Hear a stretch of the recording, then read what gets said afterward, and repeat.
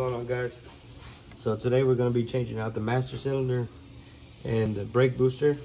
As you can see, we have these two brake lines that we have to loosen up. As well, we have a bolt right here. Another one on the side. We have our line that we got to remove. I don't know if you can see it, it's a little tight back here. But these little nuts right here, we have four of those. So we're going to start off by removing this cover. Not too bad.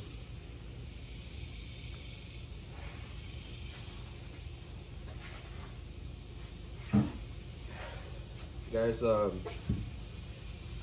we're gonna be needing a crescent wrench for these blinds. I honestly couldn't find um, size for these. So what I'm gonna be using, I'm just gonna be using these regular. Um, it is very important that you use these because they're designed specifically for these blinds so that you don't strip those nuts, those bolts. We're gonna try to make this work.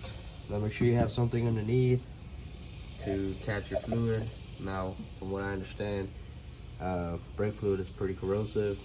I'm not too worried about it since we're not quite where we need to be, but if this car, is, you know, the whole engine bay was to be painted, then I'll definitely be covering up pretty good, so.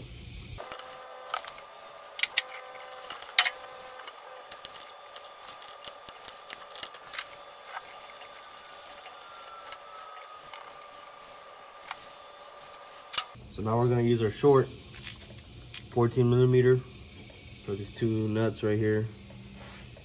So gonna throw some PB blaster real quick.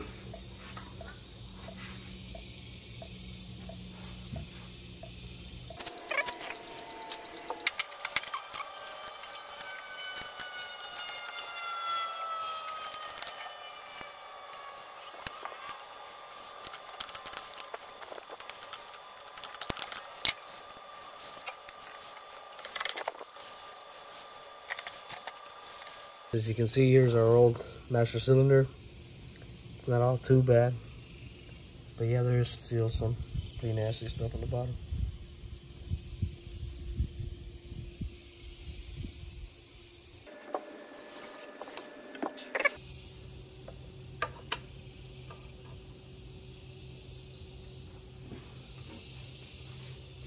So now we're off to the fun part.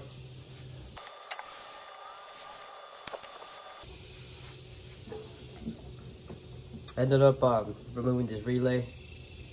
Just so that you know since it was such a tight spot back here.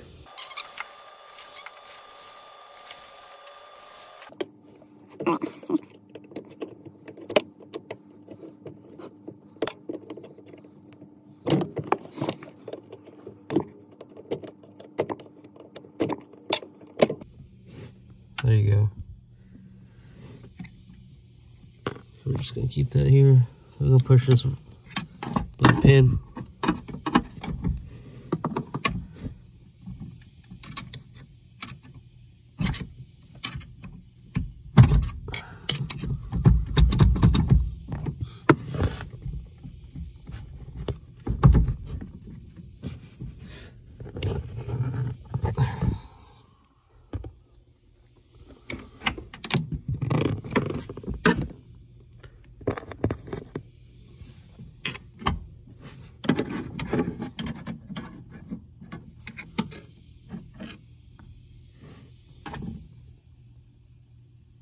All right, guys, so now that we have removed our rod, we're just gonna try to pull straight out.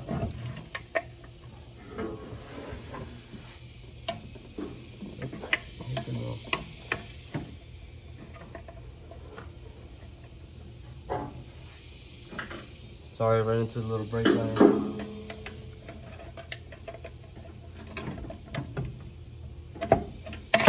There you go. Now.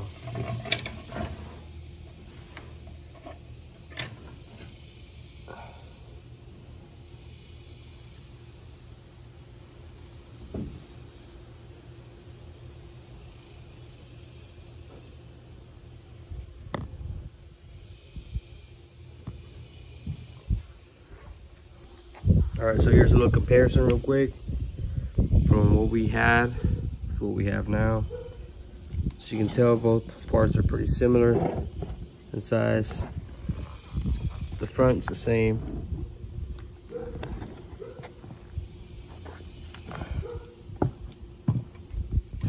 Of course, they're both upside down. So now we're gonna take our, we're to just pretty much put this on this one. And what we're gonna do, we're gonna take our measuring tape and we're gonna measure the distance between this spot right here to the top of the nut. And we're gonna see what that's like. So here it is, and it's actually sitting at 3 eighths, 6 and 3 eighths. So now we're gonna try to come over to this side. And we're gonna need to make sure that the top of our nut is at 6 and 3 eighths.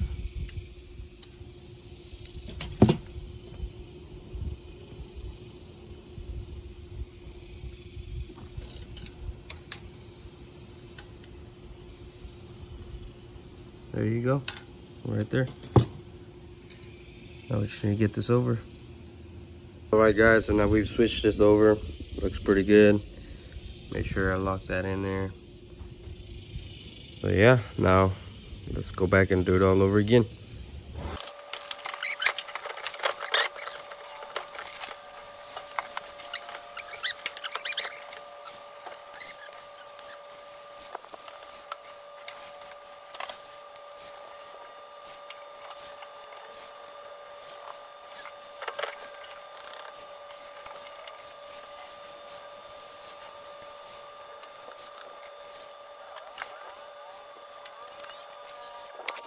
All right, so our booster is now installed.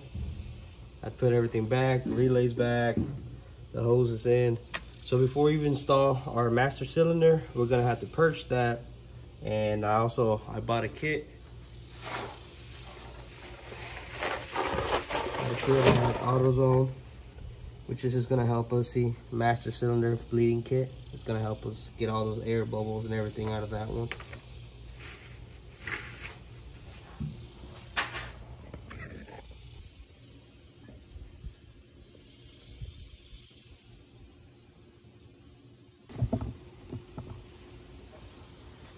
Alright guys, so we're going to get ready to purge our master cylinder. We are going to be using our, our universal kit. So we're going to be looking for the right size fitting. It's a little too big. I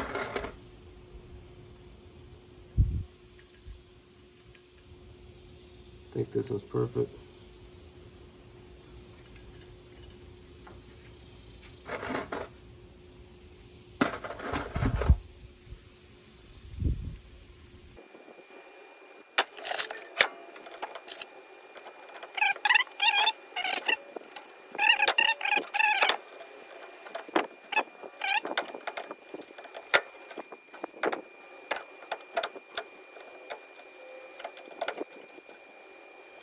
That's what it's supposed to look.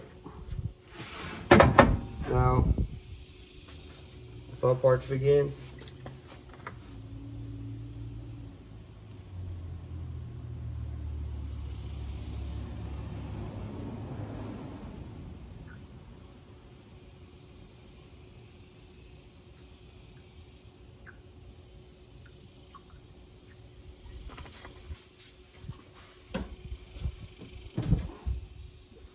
Agárralo bien.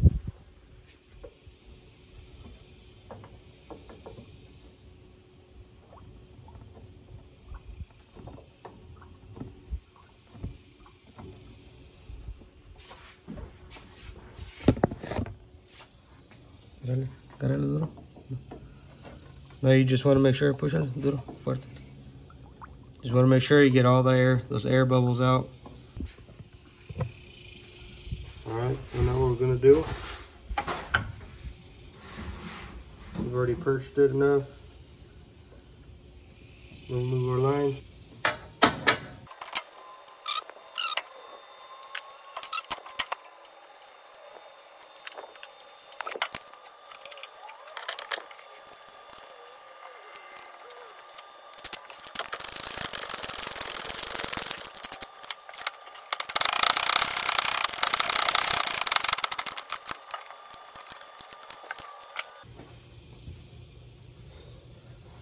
Now here comes the fun part, which is getting these lines into place.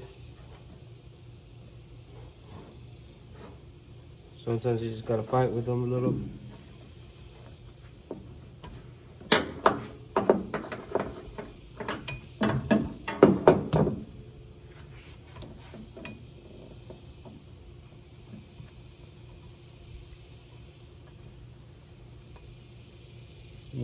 Sure that you don't cross thread them.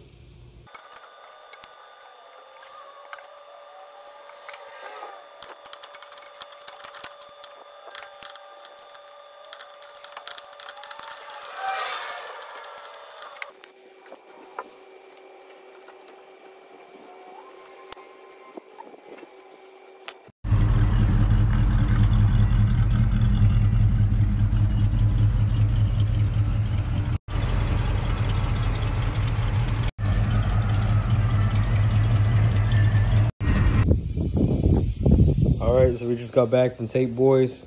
Unfortunately, um, they weren't able to take care of me today due to the fact that I had some brake lines that were pretty much cracked due to age. And honestly, I did see them, but I thought I was going to be able to get at least one ride or two out of them before. Probably wasn't the safest thing to do. So they went ahead and pretty much, you know, told me to get those parts replaced since they don't have them in stock. And as well as our driver rear wheel seal is leaking. So I went ahead and hopped on Rock Auto and decided to order those uh, those seals as well as the bearings. And the differential uh, is leaking so I might as well replace that. I'll show you guys a little bit just of what's coming up. You can see a differential. Well let's zoom in can't really see it much. But yeah guys so this is a project car so we're gonna be working on it so stay tuned for that guys. Make sure you hit the like and subscribe button as well share this video. I am going to be leaving the steering gearbox the drag link and the pitman arm for another separate video as i still got to get those parts ordered. So for now i'm just going to take care of the rear end and hopefully we can take it back to Pep Boys and get our system flushed where we can at least get a ride out before i park it again to do the front end work. Stay tuned, guys. Thank you for watching.